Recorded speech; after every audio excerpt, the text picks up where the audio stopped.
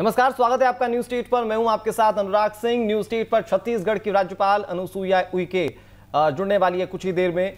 इसके पहले भी न्यूज़ स्टेट को राज्यपाल ने इंटरव्यू दिया था। दरअसल सारे शासकीय काम सरकार देखती है। लेकिन सरकार के कामों को रिव्यू संवैधानिक ढांचे के हिसाब से राज्यपाल करते हैं। ऐसे में अनुसुईया उइके न्यूज़ स्टेट के साथ जुड़ेंगी। और उनसे बातचीत करते हुए तमाम हालातों को बेहतर तरीके से समझने की कोशिश हम करेंगे। और राज्यपाल अनुसुईया उइके, उनके सियासी सफ़र पर एक नज़र डालिए।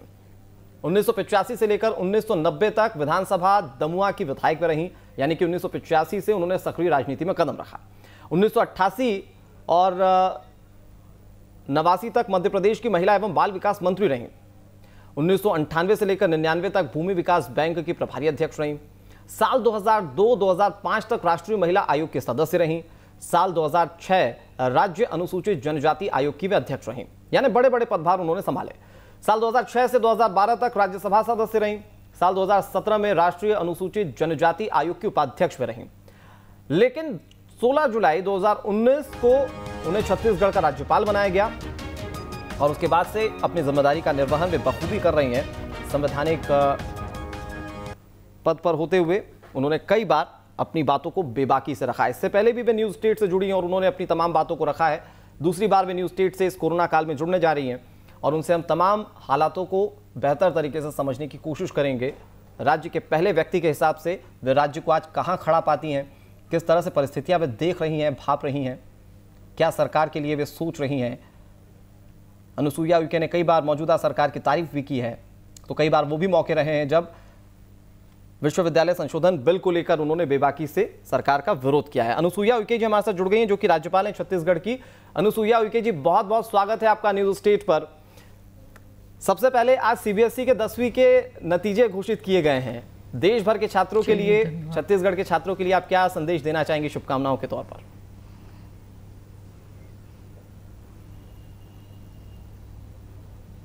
उन सभी बच्चों को मेरी तरफ़ से बहुत बहुत शुभकामना मैं देती हूँ और यही उनसे अपेक्षा करती हूँ कि ये कोरोना के संक्रामक कार्य के, के संकट के समय भी अब स्कूल तो प्रारंभ नहीं हुए हैं फिर भी वो लोग अपनी जैसा उन्होंने अपना रिज़ल्ट और जो आपने मेहनत करके सफलता प्राप्त की है आगे भविष्य में भी वो इसी तरह सफलता प्राप्त करते रहे और ऐसे संक्रामक के समय की जो परिस्थितियाँ है उसमें अपना जज्बा और अपने भविष्य के लिए जो लक्ष्य है वो निश्चित रूप से वो सफल हो गए अगर उनके अंदर कुछ आगे कुछ करने की अगर इच्छा है तो ज़रूर सफलता प्राप्त करेंगे। मेरी बहुत बहुत शुभकामना इस प्रदेश के और देश के बच्चों के लिए। अनुसुईया उइके जी हमारी बातचीत अगर शिक्षा से शुरू हुई है तो अभी छत्तीसगढ़ में हालिया विश्वविद्यालय संशोधन बिल बहुत ज़्यादा चर्चा में रहा। सरकार को लेकर बहुत सारी बातें कही गई विपक्ष की ओर से। राज्यपाल का अपना एक अलग स्टैंड उस वक्त सामने आया और उस वक्त तुलना छत्तीसगढ़ की पश्चिम बंगाल से भी होने लगी। मैं आपसे आज इस मंच पर यह समझने की कोशिश करता हूँ, दरअसल राज्यपाल अपने स्तर पर क्या सोचती हैं उस बिल को लेकर? क्योंकि बहुत कम ऐसे मौके देखने को मिले हैं जब सरकार ने किसी विधेयक को सामने रखा हो और राज्यपाल ने उस पर हस्ताक्षर ना किए हों।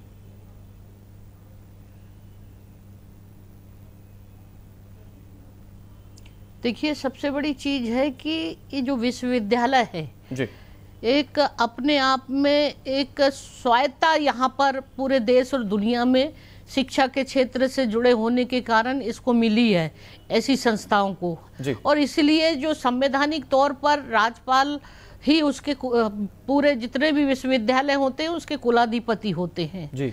और ये इसीलिए इस तरह का कुलाधिपति को वहाँ पर बिठाला जाता है और जो भी अधिकार कुलाधिपति को विश्वविद्यालय की जो भी संस्था है उसका संचालन से लेके कुलपति से लेके तमाम बहुत सारी चीज़ों में कुलाधिपति को अधिकार भी दिए गए हैं यूजीसी के भी द्वारा। ताकि ये संस्था में किसी तरह का कोई ऐसी मतलब परिस्थिति निर्मित ना हो जिससे कि बच्चों का प्रभाव पड़े। और इसलिए उसकी गुणवत्ता शिक्षा की अच्छी हो और बच्चों का एजुकेशन अच्छा मिले और ये एक यहाँ पर इंडिपेंडेंसी से काम करे इस क्योंकि ये शिक्षा का क्षेत्र है। और इसीलिए ये तमाम सारी चीज़ों में कुलाधिपति का बहुत सारे उसमें अधिकार दिए गए हैं। यहाँ तक कि कुल कुलाधिपति की ही द्वारा जो है अ, मतलब जो कॉलेज विश्वविद्यालय के कुलपति की नियुक्ति और भी बहुत सारी अध्यादेश एग्जामिनेशन के लेकर और भी बहुत सारे अधिकार दिए गए हैं। जी। तो इसमें समय समय पर जो स्टेट गवर्नमेंट के द्वारा कुछ संशोधन भी इसमें लाए जाते हैं। बिल्कुल। मगर उसमें ये भी देखा जाता है कि कुलाधिपति के उसके अधिकारों का जो है कहीं हनन तो नहीं हो रहा है। इसको भी शासन को देखना चाहिए। और जो कुछ भी प्रावधान किए गए हैं उसमें सारे कुलाधिपति के जो है मतलब अभी का जो संशोधन है उसमें कुलाधिपति के द्वारा ही खोज समिति जो बनाई जाती है खोज हम्म। समिति के द्वारा जो पैनल बनाई जाती है वो पैनल को सरकार से परामर्श लेकर और उसका कुलाधिपति ही राज्यपाल ही विश्वविद्यालय के कुलपति की नियुक्ति करते हैं। अब जबकि और भी प्रदेश में हमने लिया है इसकी जानकारी। दूसरे अन्य प्रदेशों में भी कुलाधिपति के अधिकार को कहीं नहीं छीना गया। जी। अब चूँकि ये गुजरात का भी बताते हैं तो गुजरात में भी वो अधिकार रखा कि मंत्री परिषद की सिफारिश पर कुलाधिपति उस पैनल पर जो है सहमत या परामर्श से ही कुलाधिपति नियुक्ति करेगा। कहीं पर भी अधिकांश मैंने विश्वविद्यालय और तमाम सारे जितने भी थे शासन ने पूरा मंत्री परिषद की अनुशंसा को कर दिया जहाँ कुलाधिपति के अधिकार की बात थी। जी। तो और दूसरा ये है कि मैंने यूजीसी का भी जो एक रूल्स बने हुए हैं 2018 का। जी। उस पर स्पष्ट लिखा है कि कुलाधिपति खोज समिति की जो चयन समी पैनल होगी उनके द्वारा जी। उनमें से एक व्यक्ति को ही कुलाधिपति कुल स- अ, मतलब कुलपति बनाएगा। जी। वहाँ मंत्री परिषद का ज़िक्र नहीं है। और उसमें अच्छा। एक स्पष्ट लिखा है कि एक यूजीसी का भी एक प्रतिनिधि होगा अध्यक्ष के द्वारा नॉमिनेशन जी। और इन तमाम सारी चीज़ों में क्या किया है कि वो एक यूजीसी का भी व्यक्ति को हटा दिया सदस्य को। हम्म हम्म। दूसरी बात है कि कुलाधिपति का भी एक प्रतिनिधि जो चयन समिति में वो भी हटा दिया गया। हम्म। और जो चयन समिति जो सिफारिश पर कुलाधिपति का अधिकार था उसको मंत्री परिषद कर दिया गया। अच्छा। और फिर इसके बाद यूजीसी में ये भी कहा कि कोई विश्वविद्यालय अगर हमारे रूल्स का विनियोग का अगर उल्लंघन करता है जी। तो हम ऐसे विश्वविद्यालय की हम ग्रांट रोक देंगे जो अनुदान देते हैं। ठीक है मैम। अब बताइए कि अधिकांश यूनिवर्सिटी आज बहुत सारी जो ग्रांट मिलती है। जी। तो ये ऐसी संस्थाओं में इस तरह का कुलपति को हटाना है हम्म। तो मंत्री परिषद द्वारा सिफारिश पे हटा सकता हर चीज़ में। बिल्कुल ठीक। तो ये ऐसा कभी कोई कहीं का रूल्स नहीं बनता है। और इसीलिए मैंने कहा कि लगता है ये कि तमाम सारी चीज़ें आपके सामने इसलिए उस विधेयक पर स्पष्ट कर रहे हस्ताक्षर हैं। जाते। यहाँ मैम आपको लगता है कि इससे छात्रों के भविष्य पर किसी तरह से कोई खतरा होता वो प्रभावित होता किसी तरीके से? बिल्कुल। बिल्कुल अभी बहुत सारी जो यूनिवर्सिटी अगर ग्रांट रोक ले तो जो बहुत सारी चीज़ों का जो है पैसा जो आता है करोड़ों रुपए का बजट आता है वहाँ से। बिल्कुल। हाँ और दूसरी बात है कि जब मंत्री पर क्यों कुलाधिपति को दिया है ये इसमें अधिकार? आप बताइए फिर वो तो पॉलिटिकल प्लेटफॉर्म बन के रह जाएगा। बिल्कुल ठीक। हम्म। और अभी भी मैंने ऐसा भी नहीं है कि जो पूर्व के पूर्व के जो भी है जो चयन समिति है उसमें आप सारे यूजीसी का मेंबर होता है एक कुलाधिपति का भी होता है एक शासन का होता है। हम्म। कुलाधिपति तो केवल उसमें से जो तीन चार या लोगों की पैनल होती है उसमें भी कई जगह जो जो कुछ इसमें शासन से भी परामर्श का है। हम्म। मैंने अभी अगर जो नियुक्ति पूर्व में भी किया है तो बकायदा। हमने शासन से परामर्श लिया है और उसमें मुझे ऐसा लगता है कुलाधिपति को कि कि जो सरकार का परामर्श आया उसमें उपयुक्त है नहीं है तो इसलिए ये कुलाधिपति का अधिकार है। अब इन्होंने क्या कर लिया कि मंत्री परिषद को अपना अधिकार बता दिया कि उनकी सिफारिश पर। तो ये चीज़ें मुझे लगता है कि ऐसा होना नहीं चाहिए जो बातें रखी हैं ये एक स्वायत्ता है हमको शिक्षा के क्षेत्र में हैं और ये और काफ़ी बहुत सारी गंभीर बातें चीज़ों हैं में। लेकिन इसमें एक बहुत पॉलिटिकल अगर हम पहलू देखें क्योंकि विपक्ष ये कह रहा था कि राज्यपाल पर दबाव सरकार बना रही है। अगर मैं उस पर आपका एक टेक ले पाऊँ क्योंकि रमन सिंह ने साफ़ शब्दों में कहा कि उस विधेयक पर हस्ताक्षर करवाने के लिए भूपेश बघेल सरकार आप पर दबाव बना रही है।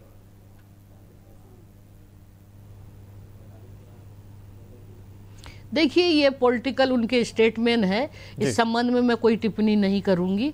आप जो भी मेरे से व्यक्तिगत तौर पर पूछना चाहते हैं मैं उस विधेयक और कानूनी प्रक्रिया पे ही आपको जवाब दूँगी। ठीक बात है मैम। आपने बहुत सारी चीज़ों को स्पष्ट कर भी दिया कि छत्तीसगढ़ की जनता के बीच में बहुत सारी चीज़ें और मैं इस संबंध में जो जी, है जी जी।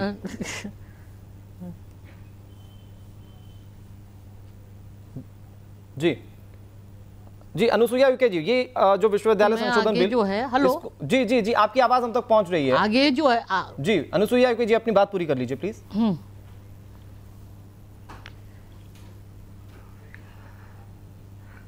आगे में ये जो बिल का जो है निश्चित रूप से ये तमाम सारी जगह हमने जानकारियाँ बुलाया है। सारे स्टेट में भी इस तरह का बिल नहीं है। ठीक है। ठीक है मैम आने वाले समय में और इस पर देखेंगे कि हम लोग सरकार क्या अपना स्टैंड रखती है। और फिर इसके बाद अगर- में अगर अपने राष्ट्र परिस्थितियों की हाँ बात अब यूजीसी यूजीसी राष्ट्रपति जी से भी। जी जी। अब अब छत्तीसगढ़ के दूसरे मुद्दों की अगर हम आपसे बात करें समझने की कोशिश करें आप चूँकि प्रथम व्यक्ति हैं राज्य की बहुत सारे ऐसे मुद्दे नज़र आते हैं जैसे कि नक्सलवाद इस वक्त कोरोना को लेकर जो परिस्थितियाँ बनी हुई है। छत्तीसगढ़ एक वक्त में मैम कोरोना को लेकर बहुत अच्छी स्थिति में नज़र आ रहा था पूरे देश में छत्तीसगढ़ की मिसालें दी जा रही थी। लेकिन आज अचानक कोरोना बस्ट आउट इतना हो चुका है कि पिछले एक हफ़्ते में इतने ज़्यादा मामले सामने आए जो कुल मिलाकर पहले भी नहीं थे। कैसे देख पा रही हैं आप? कैसे कंट्रोल कर रही है सरकार? सरकार के कामकाज को किस तरह से रिव्यू कर रही हैं?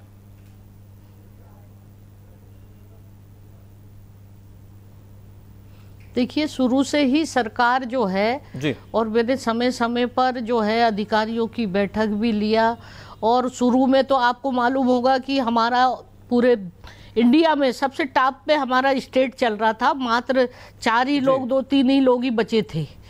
और बहुत अच्छी स्थिति हमारे यहाँ पर प्रशासन शासन और सभी ने जनप्रतिनिधियों ने और समाज सेवी संस्थाओं ने डॉक्टरों ने और सारे मतलब शासन के स्तर पे बहुत बढ़िया तैयारी थी और इसलिए ये सफलता मिली थी। लेकिन आपने देखा होगा पूरे देश भर में जब से ये प्रवासी मजदूर जो लोग अपने अपने प्रदेशों में जब आए तो इसके बाद धीरे धीरे केवल छत्तीसगढ़ राज्य में ही नहीं अन्य प्रदेशों में भी आप देख रहे हैं महाराष्ट्र में और दिल्ली में कर्नाटक और इनमें कितनी मात्रा में मतलब जिस तर गति के साथ ये फैल रहा है ये मैं समझती हूँ कि इस तरह का जो प्रवासी मजदूरों के वजह से और जो भी कुछ सरकार केंद्र सरकार के द्वारा भी समय समय पर गाइडलाइन मिलते रही है। जी। लेकिन फिर भी आज पूरी अगर हम देखेंगे कि पूरे भारत का अगर हम देखेंगे जो मतलब रिकवरी रेट जो है दुनिया के देशों से बहुत अच्छा है। बिल्कुल। और संख्या भी बढ़ रही है।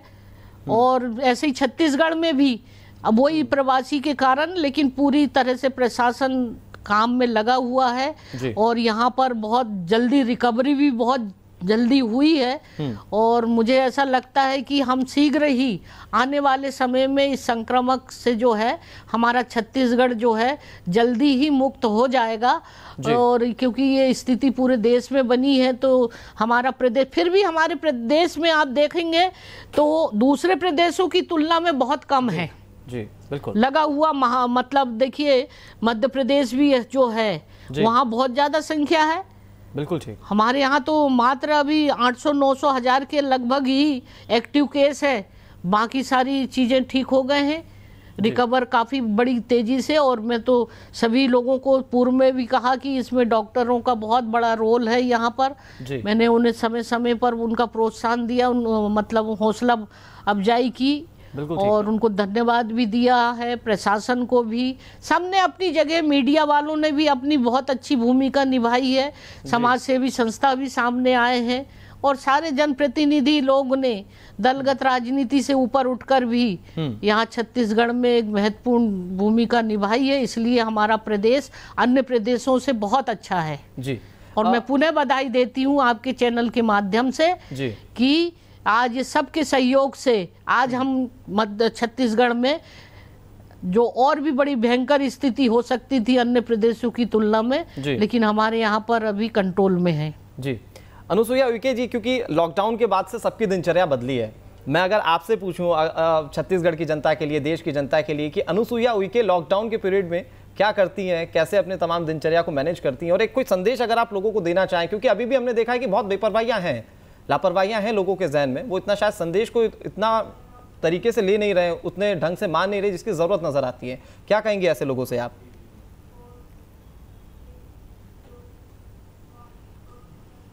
देखिए मेरा तो यही कहना है कि इस समय जिस तरीके से आज पहले तो इतना नहीं था लॉकडाउन के समय इतनी बड़ी संख्या में अब पूरे मतलब तेज़ी के साथ जो एक महीने के अंदर फैला है जी। तो ये तो मतलब अब सरकार की सारे निर्देश है गाइडलाइन है। लेकिन इसमें अब चूँकि खुद को ही अपने आप को बचाना है तो कैसे हमको सुरक्षित रहना है? कैसे हमको सार्वजनिक स्थान में अगर हम कहीं जा रहे हैं तो मास्क लगाना है और हमको एक सोशल डिस्टेंसिंग को भी बनाए रखना है और बहुत सारी चीज़ों को हम अवॉइड करें इस समय ऐसे समय कि भीड़ भाड़ में ना जाएँ और हमेशा जो घर में भी रहें तो अपना जो भी है सभी परिवार के लोगों को भी एक कहें कि वो दिन में तीन चार बार जो है साबुन से भी हाथ धोएँ। तो ये बहुत ज़रूरी है सब्ज़ी वगैरह और इसका क्योंकि ये पता नहीं कहाँ किसके रूप में आ जाता है। वो जब से सामने वाला व्यक्ति भी अगर हमसे मिल रहा उसे भी नहीं पता रहता है। और इसीलिए अगर इससे बचना है तो खुद को ही सावधानी रखनी होगी। बिल्कुल। खुद को ही अगर आपने लापरवाही किया बिना मास्क के अगर निकले तो निश्चित रूप से वो आपके साथ आ जाएगा क्योंकि ये इसका कोई इलाज नहीं है। जी और इम्यूनिटी पावर जिसका है वही रिकवर हो रहा है वही स्वस्थ हो रहा है। हम्म। और ऐसी परिस्थिति में आप स्वयं बहुत सावधानी और सतर्कता से रहें यही मैं कहना चाहती हूँ। और जहाँ तक लॉकडाउन की बात है मैंने इस समय स्वास्थ्य को लेकर भी अपना ख्याल रखा है।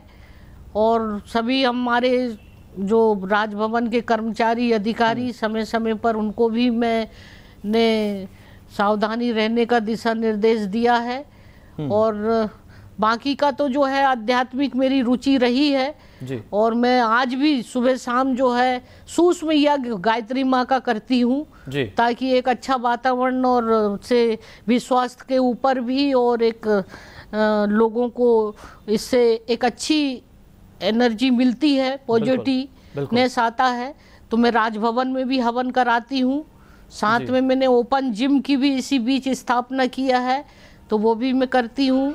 हम्म। और सुबह शाम जितना भी है क्योंकि ये भी बहुत स्वास्थ्य सभी के लिए है कि स्वास्थ्य रहना सब चीज़ें हैं। अगर हम स्वस्थ नहीं है तो हम समाज और देश के लिए क्या कर सकते हैं? बिल्कुल ठीक मैम। और ये एक बहुत बड़ा उदाहरण है हमारे देश के माननीय प्रधानमंत्री मोदी जी के लिए जी। कि 68 में भी वो 18 18 घंटे काम करते हैं। क्योंकि वो योगा करते हैं और प्रतिदिन दिनचर्या उनकी बड़ी अ, मतलब बड़े नियम हाँ। के साथ रहते हैं और लोगों को भी संदेश देते हैं। और इतना उनके अंदर एक प्रकार से बिल पावर है कि आज देखिए इतने बड़े परिस्थितियों में चारों तरफ़ जी। अ, मतलब ये सारा इतना बड़ा संकट आया। और किस तरह से उन्होंने देश की जनता के लिए एक मतलब संदेश देकर बिल्कुल और ठीक मैम। और एक, एक बड़ा संदेश एक तो आपने भी दिया सुरक्षित कि लोग जो कर रहे हैं वो सिर्फ़ अपने लिए नहीं कर है रहे हैं, इतनी बड़ी बल्कि दूसरे दूसरे देश देश राष्ट्र के लिए भी कर रहे हैं। जी। जी और प्रधानमंत्री मोदी का भी आपने ज़िक्र किया ज़ाहिर तौर पर। लेकिन आ, एक बहुत एक्टिव राज्यपाल के तौर पर अनुसुईया उइके पूरे देश में पहचान रखती हैं क्योंकि हमने आपको बस्तर जाते हुए भी देखा वहाँ पर लोगों से बात करते हुए भी देखा है। हमने सूपे बेड़ा भी आपको जाते हुए देखा है जहाँ पर आप लोगों के बीच में उनकी तमाम तकलीफों को समझती हैं देखती हैं। अगर मैं आपसे समझूँ जो छत्तीसगढ़ के ट्राइबल्स एरिया हैं या फिर जो नक्सलाइट एरिया इन दोनों ही जगहों की बात कर लेते हैं कैसे छत्तीसगढ़ आगे इस दिशा में प्रोग्रेस कर सकता है? सरकारों की कितनी भागीदारी हो सकती है? प्रशासन किस तरह से काम कर सकता है?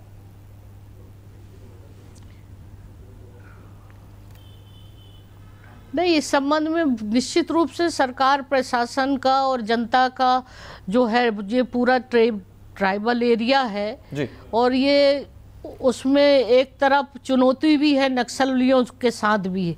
जी। लेकिन अगर हम वहाँ के लोगों को विश्वास में लेकर और उनको मुख्य धारा से अगर जोड़ते हैं जी। और उनके लिए जितनी भी जो शासन और केंद्र सरकार राज्य सरकार की योजना बनाई है अगर समय पर अगर उन तक पहुँचती है तो वो आत्मनिर्भरता के साथ जी सकता है। और क्योंकि मूल समस्या भी उनकी यही है कि आज बेरोजगारी बहुत है। बिल्कुल। लोगों को वहाँ पर नौकरी नहीं है। तो वहाँ का जो नवयुवक है ट्राइबल है वो घूम रहा है। तो उनके लिए कैसे रोज़गार से जोड़ा जाए? अभी मेरे सामने एक मैं आपको बता रही हूँ ये मीडिया में भी छपा होगा। जी ये बहुत गंभीर मामला है। आप लघु वन उपज जो है संस्था के द्वारा ये जो जी। तेंदू पत्ता है जी। इसका जो लाभांश होता है हर साल का वो लाभांश उन हित संग्रहित जो लोग हैं आदिवासी जिसके सदस्य हैं उनको ही बांट दिया जाता है। हम्म। अब बताइए दो साल तक सरकार ने वो पैसा पाँच सौ संतानवे करोड़ हम्म। बैंक में जमा करके रखा और दो साल की छात्रवृत्ति नहीं दी गई। जी। और कहा कि भाई वो उसमें उनका अकाउंट नहीं था। सभी के अकाउंट पहले ही खोल लिए जाते जो मुझे जानकारी मिली। जी। और 436 के लगभग करोड़ समितियों को देना बाकी है। जी। आप बताइए ये कोरोना संकट काल का समय था दो साल से। उन बच्चों को जो दसवीं पास और आठवीं पास उन बच्चों को प्रोत्साहन के लिए राशि दी जाती है। अब बताइए गरीबों की क्या स्थिति है? ये शासन को ध्यान देना चाहिए कि नहीं प्रशासन? और जब मैंने अभी उस दिन जब मीटिंग लिया तब अभी अभी 261 करोड़ रुपए रिलीज़ हुआ। हम्म। और अभी मैं क्या कर रही हूँ कि ये तमाम जो पैसा है ब्याज सहित उनको रिटर्न होना चाहिए। मैंने ये कहा है अधिकारियों ने मुझे आश्वस्त किया है और मंत्री जी ने भी कहा है जी। कि अब इनका पैसे के लिए सरकार की सहमति की क्या ज़रूरत है? ये उनका पैसा है। जी। तो आपने रोक क्यों रखा है? नहीं बात क्या आप भी सोचते हैं ना कि भाई आखिर आप जो ट्राइबल की बात करिए इससे ये नक्सलवाद का जो मामला आता है हम्म, और ये आज तो इन लोगों का समाधान समय पर हो। आपने कुछ दिन पहले देखा होगा कि बीजापुर और नारायणपुर और वहाँ के आदिवासियों ने एक बहुत बड़ा जन आंदोलन छेड़ा था। जी। हम्म। और साथ में उनका पारिश्रमिक उनको मिलना चाहिए था इस कोरोना संकट काल में। बेचारे लोगों के पास न मजदूरी मिल रही थी न कुछ। तो देना चाहिए था सरकार को। ठीक। और यहाँ बात मैम आपने बिल्कुल तो वो उन्होंने ये कहा कि उनका की तो अकाउंट नहीं खुला, बैंक में आज नहीं होना चाहिए था। शायद इसमें देरी कर दी शासकीय स्तर पर। लेकिन एक चीज़ और क्योंकि नक्सलवाद का ज़िक्र हमने किया नक्सलवाद हाँ। छत्तीसगढ़ का एक बड़ा मसला है क्या नीति सरकार को रखनी चाहिए? क्योंकि बहुत लंबे समय से ये दंश छत्तीसगढ़ झेलता आ रहा है और हर सरकारें जो आती हैं चुनाव के वक्त में वो कहती है कि हम इससे निजात दिलवा देंगे। लेकिन नीति इसके लिए बहुत ठोस होनी चाहिए। आपको क्या लगता है किस तरह से इस दिशा में काम करने की ज़रूरत है?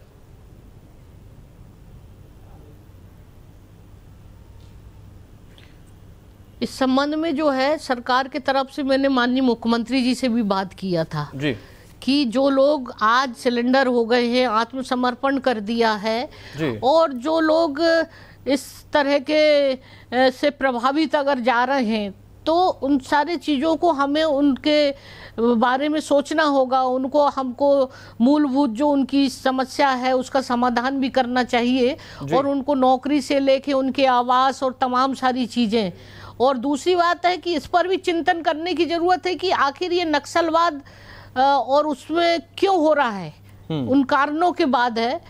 और मैं समझती हूँ कि मैंने आपको कहा है कि वहाँ के लोकल लोगों को भी हमें विश्वास में लेना होगा। बिल्कुल ठीक। ये तमाम चीज़ें सरकारें बहुत और मैंने इस बात को सोचा था कि मैं यहाँ के जनप्रतिनिधि जो पूरी कर लीजिए। हाँ? जी मैम अपनी बात पूरी कर लीजिए।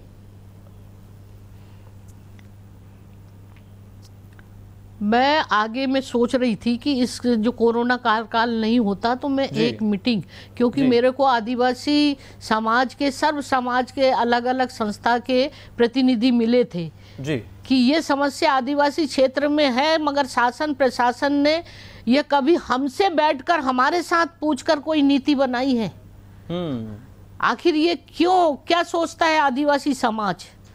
तो कहा कि मैडम आप इसकी मीटिंग बुलाइए और हमारे साथ शासन प्रशासन के साथ बैठकर और चर्चा करिए हम बताएँगे की इसके रोकने की तो क्या मतलब आदिवासियों को या ट्राइबल लोगों को बहुत प्राथमिकता देने की बात कही जाती है। क्या असल में ये स्थिति है कि अभी पूछ परख नहीं है? बिना पूछे सारी चीज़ें हो रही होती है उनकी जरूरतों को बिना समझे सब कुछ हो रहा है।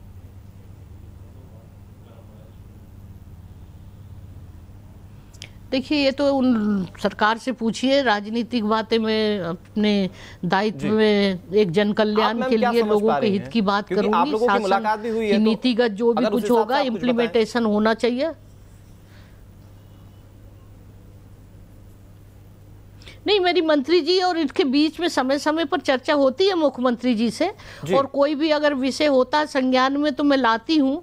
और उसका मतलब निराकरण भी उस दिन भी जब मैं चौबे जी से भी बोला और अपने अपने मानी अकबर जी से जो है ना जी जी जी आ, उनसे भी मैंने बहुत सारे विषयों पे चर्चा हम्म। की तो निश्चित रूप से उनका ध्यान जाता है ठीक है मैम बेहतरी की हम उम्मीद करते हैं। उच्च शिक्षा आपका मंत्री एक को बहुत भी बोला। लंबा तो राजनीतिक देखिए, अनुभव भी रहा है। काम होता है आप सारी चीज़ों को बहुत करीब से समझ भी रही हैं हालाँकि आपके संवैधानिक पद पर आप जहाँ हैं आप बिल्कुल ठीक कह रही हैं कि वहाँ हम्म। से राजनीति की कोई बातें होना इसकी उम्मीद करना ही शायद एक बहुत बड़ी नाकामी होगी या इस पर बात करना ही कोई। लेकिन एक चीज़ मैं आपसे क्योंकि छत्तीसगढ़ के इस वक्त के तमाम परिप्रेक्ष्यों में ये सवाल बहुत हवा में है संसदीय सचिवों की अच्छा बात। मैं आपसे एक बात नहीं नहीं एक मिनट सुनिए। जी जी जी मैम कहिए।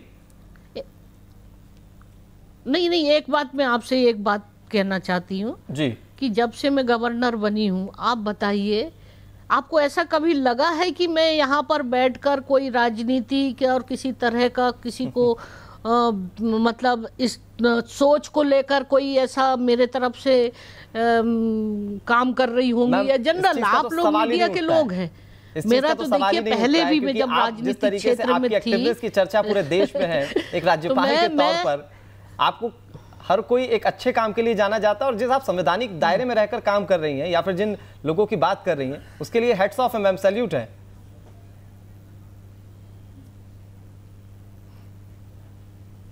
थैंक यू जी बहुत आखिरी में क्योंकि संसदीय और मुझे भी सचिव का ऐसा जो लगेगा कि कभी कोई चीज़ हो तो आप ज़रूर मुझे भी बताइए। बिल्कुल। हमेशा से सर मैम न्यूज़ स्टेट हमेशा से छत्तीसगढ़ की जनता की आवाज़ बनता रहा है। और आज आपकी आवाज़ से उन्होंने ये जाना कि राज्यपाल क्या सोच रही हैं छत्तीसगढ़ की जनता को लेकर। क्योंकि संसदीय सचिव का मुद्दा मैं ये तीसरी बार ये सवाल कर रहा हूँ, मैम। आप क्या सोच रही हैं? इसको लेकर बहुत सारी बातें भी होती रही हैं। कोर्ट भी इस पर अपना वर्डिक्ट दे चुका है। बहुत सारी चीज़ें साफ़ भी हुई हैं। अभी हाल ही में संसदीय सचिवों की नियुक्ति हुई है। बताओ, राज्यपाल आप कैसे देख रही हैं ऐसे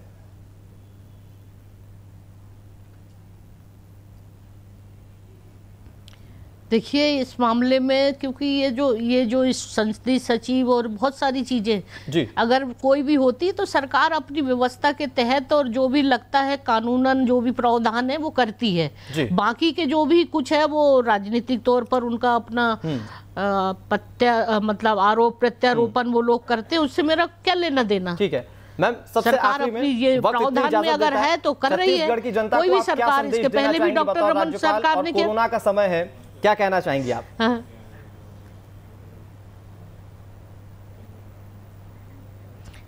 नहीं बस यही मैंने कहा कि इस समय सब लोगों का सहयोग करके और जनता को भी एक जागरूक करना चाहिए। ये कोरोना का जो संकट काल अभी दिन प्रतिदिन बढ़ रहा है और ऐसे में सभी लोगों को सावधानी रखते हुए और जो भी है सोशल डिस्टेंसिंग और मास्क लगाकर और सार्वजनिक और भीड़ भाड़ में ना जाए और बस ये आपके स्वयं के ऊपर है। अगर आप सावधान रहेंगे तो आपके पास कोरोना कभी नहीं आएगा क्योंकि ये कोरोना आप स्वयं लेके आते वो अपने आप नहीं आता है घर में और ना आपके पास में।